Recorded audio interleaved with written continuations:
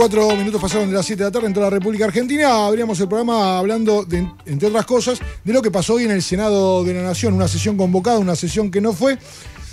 Un papelón de la política, em, donde se podía. Una sesión donde se buscaba dar respuestas a algunos reclamos que tuvieron, estuvieron a la cabeza de la agenda mediática y política durante los últimos 15 días, como el proyecto para fortalecer la, justicia federal en la provincia de Santa Fe. Además, en la sesión que se cayó hoy, cuando Juntos por el Cambio se retiró del recinto, también se iba a votar la ley del cosero. Lo dijimos, se iban a votar tres pliegos de, de jueces federales con asiento en Rosario y Santa Fe.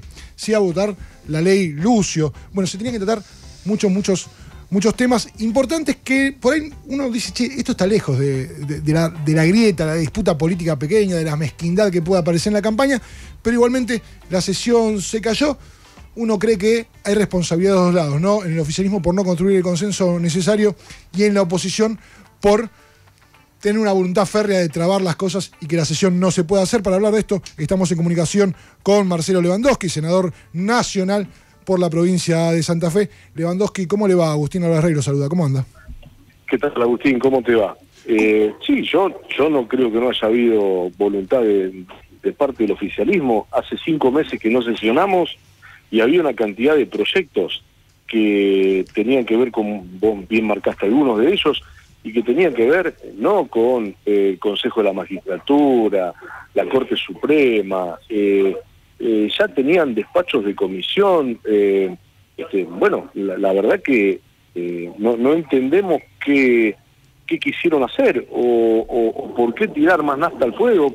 Y, por supuesto del otro lado está la gente que, como bien decís, mete a todos en la misma bolsa y, y dice la respuesta de la política no llega y la verdad que a uno lo incomoda mucho esa situación, porque ahora cuando uno repasa las leyes que se iban a sacar, cuando uno tiene la, ley de tránsito sobre alcoholemia cero y están eh, en las gradas las madres del dolor pidiendo que se queden a votarle y se van todos, sí, entiendo que, que quedamos expuestos todos, pero la verdad que hay algunos que que yo no sé a dónde quieren llevar a la política y si creen que esto les, les resulta que van a quedar indemnes. Me parece que no están viendo las, las encuestas. Yo tengo una encuesta en Santa Fe donde el 90% de la gente tiene bronca, dolor, tristeza y angustia. Eh, y no, no dice, me voy de este sector político y voy para otro. Está muy enojada y con razón. Ahora, senador, eh, en la Cámara de Diputados pasó algo particular, muy diferente a lo que pasó hoy en el Senado, donde todos los representantes de Santa Fe, se pusieron de acuerdo, por lo menos para avanzar en un tema, que era el tema del fortalecimiento de justicia federal. Incluso Perotti fue a la sesión, fue a la reunión de comisión, se votó, no hubo problema. ¿Dónde se rompió? Porque, claro, usted es senador por, eh, por, Santa Fe, por el peronismo, ahora también está Carolina Dosada, que es senadora por Santa Fe, por la oposición. ¿Por qué no, no se pusieron poner de acuerdo en lo mínimo? Bueno, ellos querían cambiar eh, algunos, eh, algunos la orden del día y dejar algunos proyectos de ley para votarlo dentro de 15 días, cuando no había ningún sentido, querían dejar de, como había algunos senadores de la oposición que no querían votar a favor de alcohol cero, no querían quedar expuestos ante los familiares, entonces querían querían retirar ese proyecto para ser votado en el día de hoy. Nosotros claramente... Bueno, pero esto que dice Lewandowski, la verdad que es gravísimo. bueno, pero pasó, pero, pero pasó eso. Usted dice que la razón por la que la oposición se fue es porque había senadores de la oposición que no querían votar la ley del Consejo no querían ser repudiados por los familiares de las víctimas que estaban ahí? Absolutamente. Pero vos fíjate los, el orden del día. El orden del día. La ley del cero. Segundo punto. Eh, eh, la, la renovación del certificado único de discapacidad, que es que se proponía que en determinados casos no, no, no tuvieran cada dos años que venir a, recorrer desde distintos puntos del país a Buenos Aires para certificar una invalidez. Otro plan, Plan Nacional de Cardiopatías Congénitas, también que venía con media sanción. Eh, teníamos la eliminación del trámite de fe de vida de los jubilados y pensionados, que cada vez que se le vencen tienen que ir a demostrar que no se murieron. Bueno, eso también estaba en el día de hoy. Eh, ley de impuesto a las ganancias sobre exenciones a trabajadores de, la salud, también tenía dictamen de comisión, eh, lengua de señas argentina, eh, y después la votación de los juzgados de Santa Fe y de Córdoba, eh, o sea, había 40 pliegos para votar y solamente quisieron llevar a comisión el de Santa Fe, los de Santa Fe y los de Córdoba, dijeron, no, los otros no, que están aprobados y no tienen ninguna impugnación. O sea, todo eso que yo te nombré era lo que estaba para votar.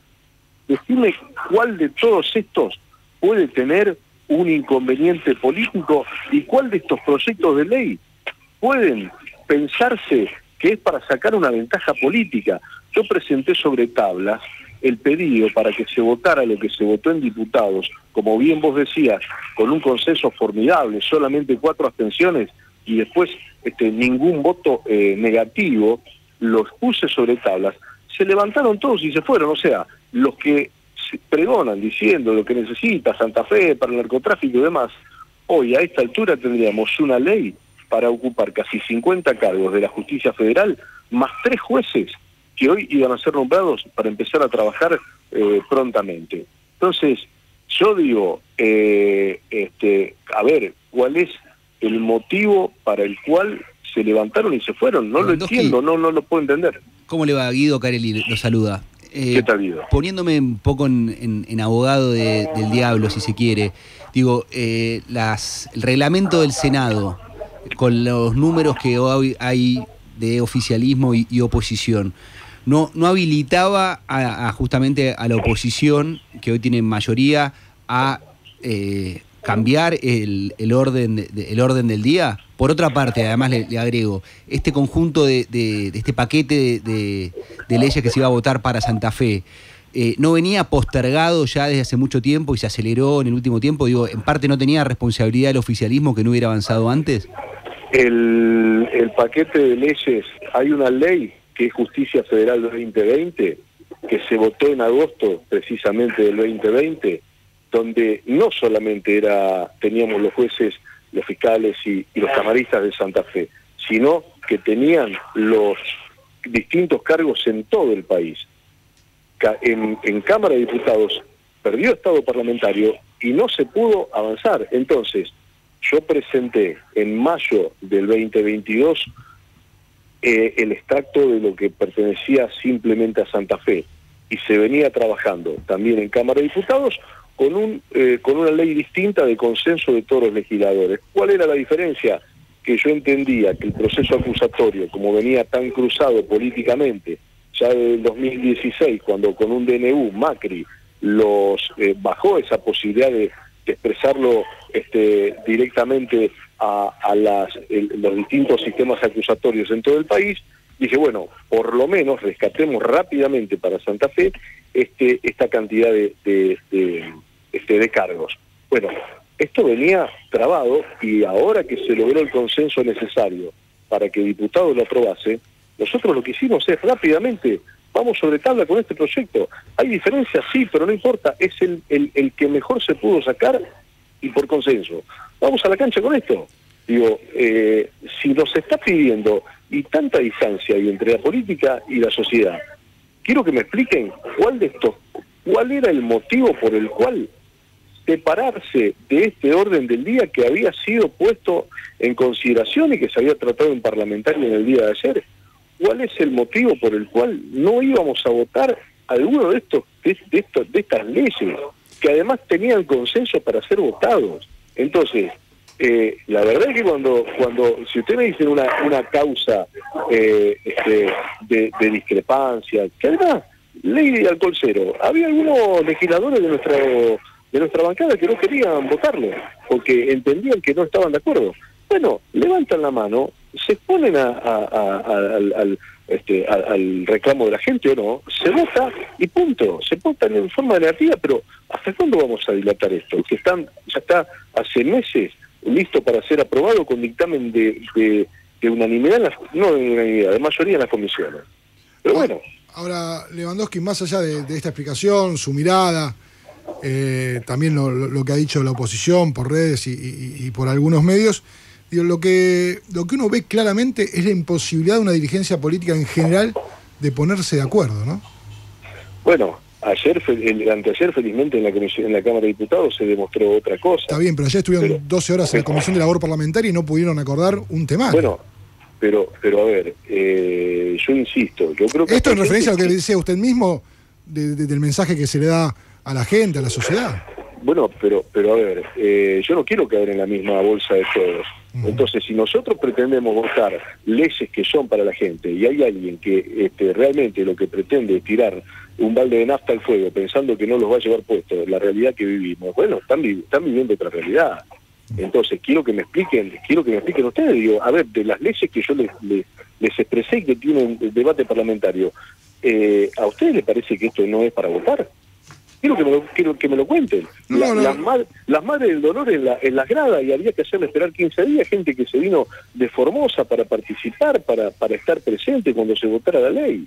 ¿De qué estamos hablando? Digo, porque si no, todo lo mismo. Es como dice el negro Dolina, todos los libros de la biblioteca son iguales. Y no son todos los libros de la biblioteca iguales. Entonces, digo, eh, separemos las cosas. Si ustedes me dicen, no, mira, te querían meter este, de contrabando eh, este, el juicio a la corte, bueno, está bien, este, tienen razón. Eh, pero acá había leyes hace cinco meses que no sesiona el Senado y están diciendo no, dice no, esta ley vamos a dejarla para dentro de 15 días. Explíquenme por qué, explíquenselo a la ciudadanía.